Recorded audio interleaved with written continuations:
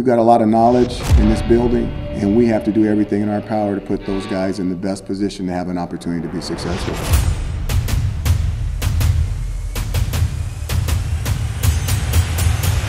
Blasted by Michael Jones. What a catch by Oronde Gadsden. Algolet fumbles the football. It's Jahad